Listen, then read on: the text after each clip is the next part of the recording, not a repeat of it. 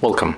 If you want to change scale animation in your Sharp Aquos Smart LED TV 40 inch, at the first you have to go for the settings.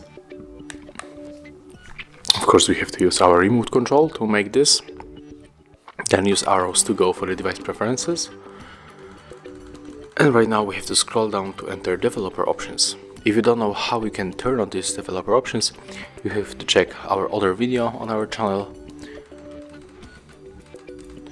and then we have to scroll down by using arrows on our remote control and then find the window, transition and animator, animation scale and duration scale, so click enter and if you want to speed up, speed it up your TV, you have to go for the uh, half of this uh, function or the off. Let's go for this one for example.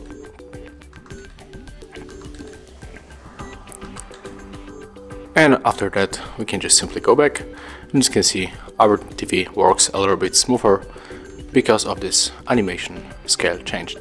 So that's how it looks. Thank you guys for watching. Leave thumbs ups, comments and subscribe to our channel.